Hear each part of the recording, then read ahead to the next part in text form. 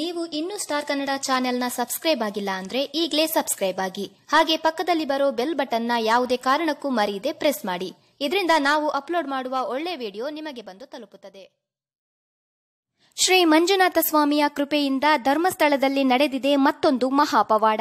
ಹೌದು ಶತಶತಮಾನಗಳಿಂದ ಹೆಸರುವಾಸಿಯಾಗಿರುವ ಧರ್ಮಸ್ಥಳದಲ್ಲಿ ಒಂದಲ್ಲ ಒಂದು ಪವಾಡಗಳು ನಡೆಯುತ್ತಲೇ ಇರುತ್ತೆ. ಈಗ ಮಂಜುನಾಥನ ಕ್ಷೇತ್ರದಲ್ಲಿ ಭಕ್ತರು ಖುಷಿಯಿಂದ ತೇಲಾಡ್ತಾ ಇದ್ದಾರೆ. ಅದಕ್ಕೆ ಕಾರಣ ಏನು ಎಂಬುದನ್ನ ನೋಡಿ.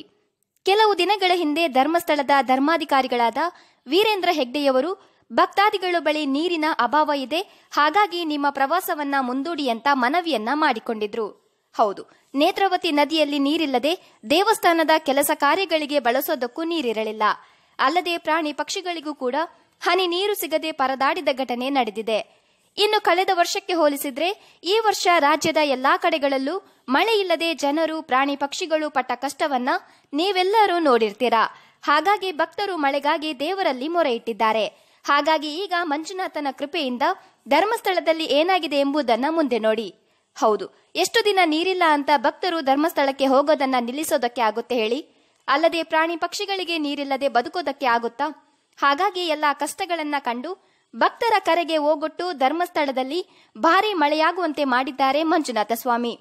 ಹೌದು, ಮುಂಗಾರು ಮಳೆ ರಾಜ್ಯ ಪ್ರವೇಶಿಸಲು ವಿಳಂಬ ಆದ ಬೆನ್ನಲ್ಲೇ ವಾಯುಭಾರ ಕುಸಿತದ ಪರಿಣಾಮ ದಕ್ಷಿಣ ಕನ್ನಡ ಜಿಲ್ಲೆಯಲ್ಲಿ ಮಳೆಯಾಗ್ತಾ ಇದೆ. ಇದೇ ಸಂದರ್ಭದಲ್ಲಿ ಪಶ್ಚಿಮ ಘಟ್ಟದ ತಪ್ಪಲಲ್ಲೂ ಮಳೆಯಾಗಿದೆ. ಕುಮಾರಧಾರ, ಕೆಂಪುಹೊಳೆ, ಎತ್ತಿನ ಹಳ್ಳಗಳಲ್ಲಿ ನೀರಿನ ಹರಿವು ಕಾಣಿಸಿಕೊಂಡಿದೆ.